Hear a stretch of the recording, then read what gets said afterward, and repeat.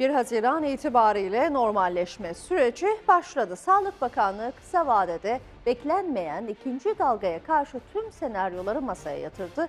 Bütün hazırlıklar tamamlandı.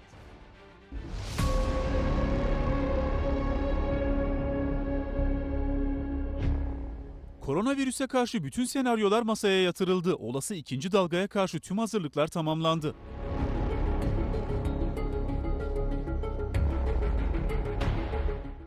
Bir Haziran itibariyle başlayan yeni kontrollü hayatın ilk yansımaları haftaya görülecek. Bilim kuruluna göre kısa vadede ikinci bir koronavirüs dalgası olmayacak. Ancak vakalar Eylül-Ekim ayları gibi artabilir. Eğer gerçekleşirse ikinci dalganın ilki kadar şiddetli olması beklenmiyor.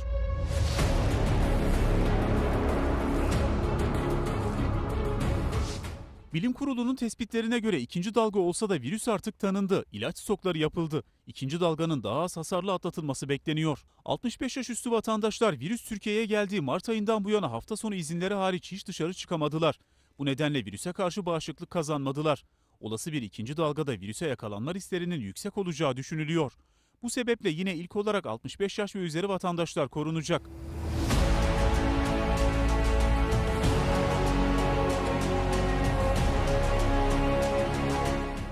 Türkiye'nin bağışıklık haritasının çıkarılacağı antikor testleri de bu hafta başlatıldı.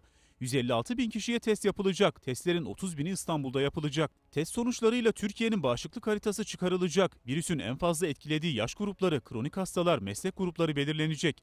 Virüste coğrafi şartların etkili olup olmadığına bakılacak. Çıkarılacak bağışıklık haritasına göre alınacak tedbirler belirlenecek.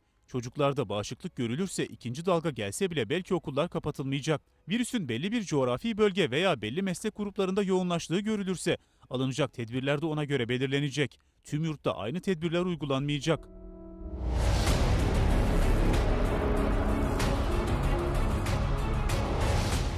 Vaka sayısında düşme devam ederse 65 yaş üstü ve 18 yaş altına uygulanan sokağa çıkma yasağının haftaya kalkması bekleniyor. Bu adımda ilk olarak 14 gün hiç korona vakasının görülmediği şehirlerden başlatılacak.